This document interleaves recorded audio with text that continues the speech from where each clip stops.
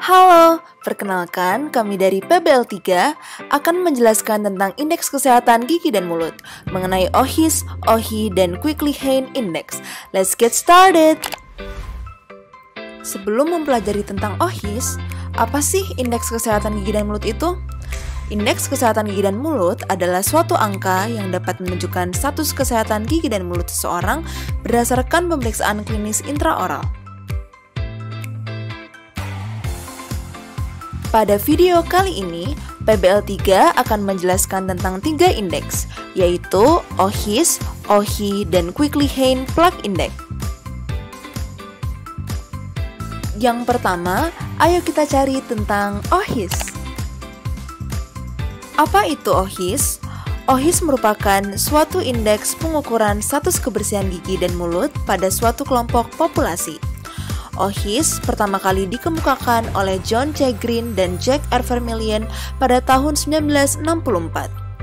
Tetapi, indeks ini memiliki suatu kelemahan, yaitu OHIS tidak memiliki tingkat kepekaan yang setinggi indeks OHI, namun menawarkan metode yang lebih cepat untuk mengevaluasi kebersihan mulut dari suatu kelompok populasi. Lalu, apa sih tujuan untuk menghitung OHIS? OHIS digunakan untuk mengevaluasi tingkat kebersihan gigi dan mulut seseorang atau suatu populasi. OHIS ini berbeda loh dengan OHI. Mari kita lihat perbedaannya. Untuk OHIS, jumlah permukaan gigi yang dihitung adalah 6 permukaan, sedangkan OHI 12 permukaan. Lalu untuk gigi yang dipilih, OHIS memilih gigi 11, 16, 26, dan 31, 36, 46 Sedangkan untuk Ohi, setiap sektan dipilih satu gigi yang paling ditutupi oleh debris atau kalkulus. Bagaimana cara menghitung OHIS? Pada OHIS terdapat 6 gigi yang diperiksa, yaitu 4 gigi posterior yang terdiri dari gigi 16 dan gigi 26 untuk permukaan bukal, lalu gigi 36 dan 46 untuk permukaan lingual. Kemudian terdapat dua gigi anterior yaitu gigi 11 dan 31 untuk permukaan labial. Kemudian setiap permukaan gigi akan dievaluasi untuk memeriksa apakah terdapat kalkulus dan debris. Berikut merupakan kriteria untuk setiap skor pada indeks debris dan kalkulus. Pertama, skor 0, artinya tidak terdapat debris atau kalkulus yang terlihat. Skor 1, debris atau kalkulus menutupi kurang dari sepertiga permukaan gigi. Skor 2, debris atau kalkulus menutupi lebih dari sepertiga namun kurang dari 2 per 3 permukaan gigi. Lalu skor 3, artinya debris atau kalkulus menutupi lebih dari 2 per 3 permukaan gigi.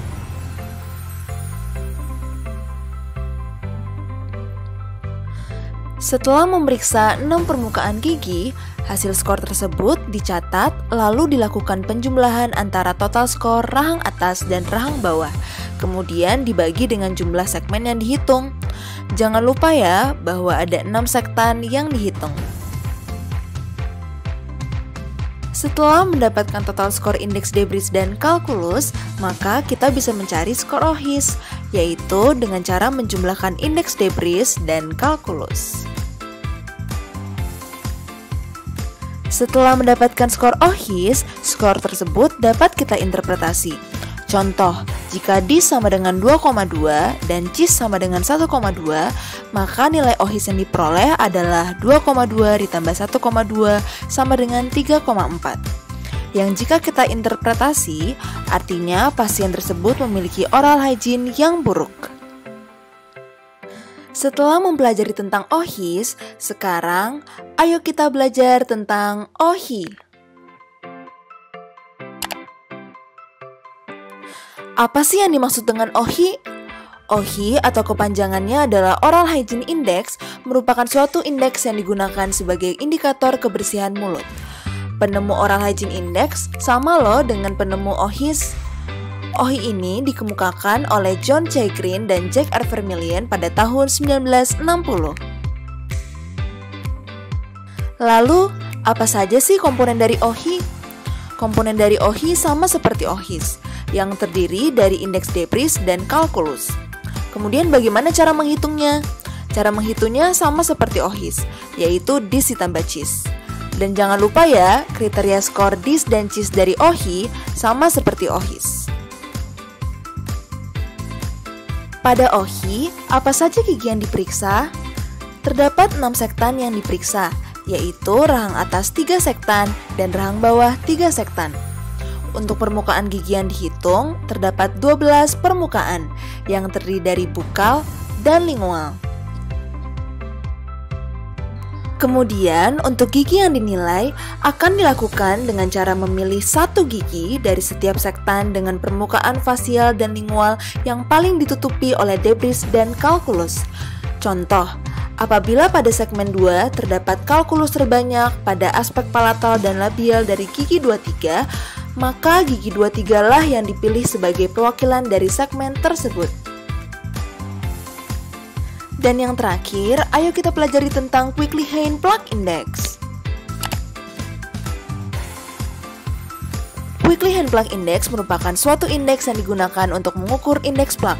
Pertama kali dikemukakan oleh Quickly dan Hain pada tahun 1962, yang di mana mereka menilai permukaan labial dari gigi anterior orang atas dan rahang bawah. Kemudian dimodifikasi oleh Tureski, Gilmore, dan Glickman pada tahun 1970, yang di mana mereka menilai permukaan bukal dan labial dari seluruh gigi kecuali molar 3 dengan maksimal 56 permukaan yang dinilai. Berikut cara mengukur indeks plak dari Quickly Hain.